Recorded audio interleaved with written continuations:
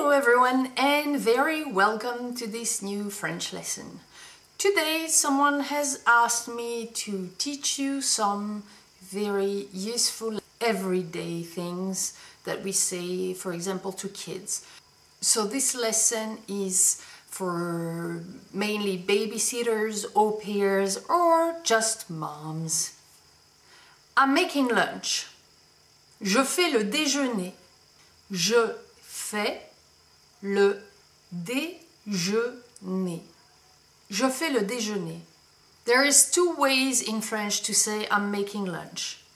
This one is je fais le déjeuner. I'm making lunch, just simply. And you can say it this way as well. Je suis en train de faire le déjeuner. That just means that you are making it right now, right at the time you are saying it. Je suis en train de faire le déjeuner.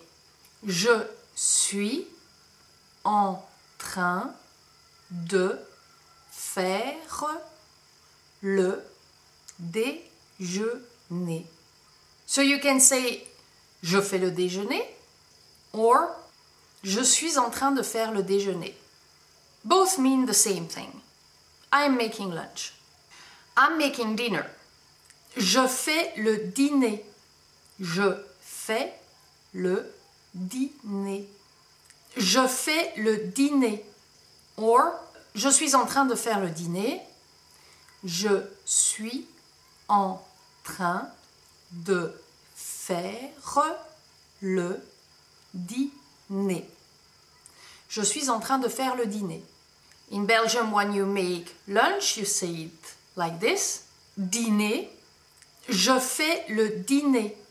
And in Belgium, when you make dinner, you say it like this. Souper. Je fais le souper. Souper. But this is only for Belgium. In France, to say I'm making lunch, you say it. Je fais le déjeuner. And to say I'm making dinner, you say it like this. Je fais le dîner. Go to play. Allez jouer. Allez jouer. Allez jouer. This afternoon we are going for a walk. Cet après-midi nous allons nous promener. Cet après-midi nous allons nous promener. Cet après-midi nous allons nous promener. Cet après-midi, nous allons nous promener. Or, you can say it this way as well. Cet après-midi, nous allons faire une promenade. It means exactly the same thing. It's just that one would more be like, this afternoon we're going for a walk, and the other one, this afternoon we are having a walk.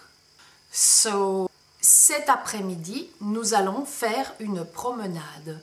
Cet après-midi, nous allons faire une promenade. Cet après-midi, nous allons faire une promenade. So I hope that you liked this lesson. I hope that it was a big help for you. And I hope that you will come back to watch some new lessons as soon as I have time to make new ones because I'm a little bit short on time. Um, do not hesitate to ask me to teach you things that you need to know because this was a lesson that someone asked me to do. I hope that you had a great lesson, that you have learned everything you needed, and I see you soon. Bye!